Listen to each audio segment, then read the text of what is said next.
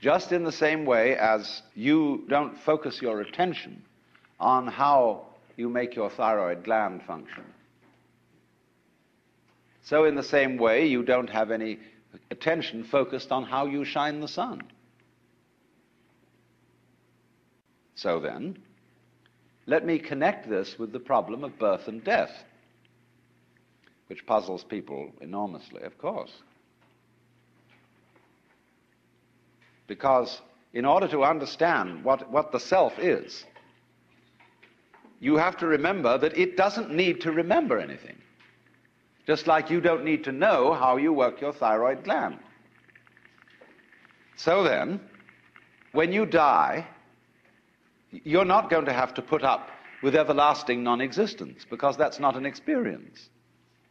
A lot of people are afraid that when they die, they're going to be locked up in a dark room forever and, and sort of undergo that. But one of the most interesting things in the world, this is a yoga, this is a way of realization.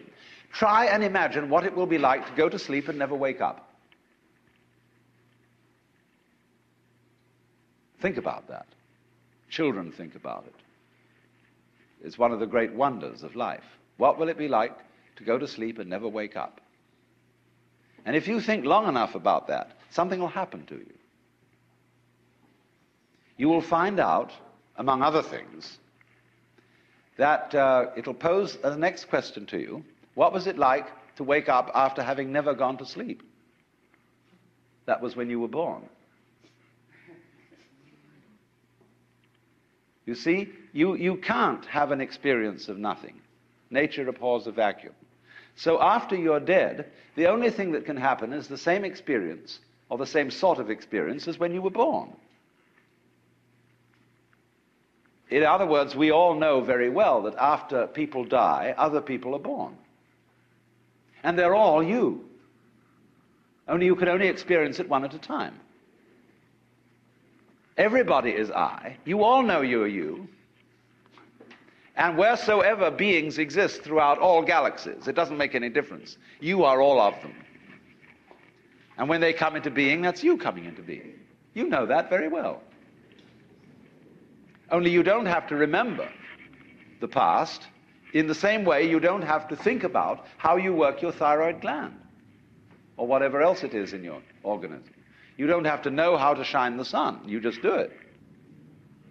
Like you breathe.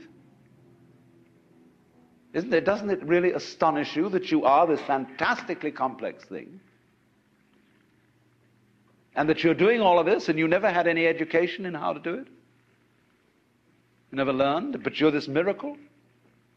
Well, the point is that from a strictly physical, scientific standpoint, this organism is a continuous energy with everything else that's going on.